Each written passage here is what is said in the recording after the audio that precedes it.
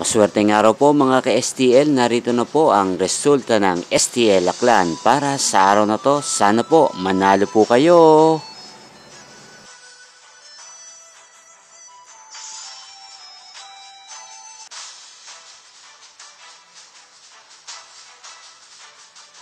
Congrats po sa lahat ng mga nanalo. Maraming maraming salamat po sa patuloy niyong panonood sa aking channel. Huwag pong kalimutang mag-subscribe. Thank you for watching.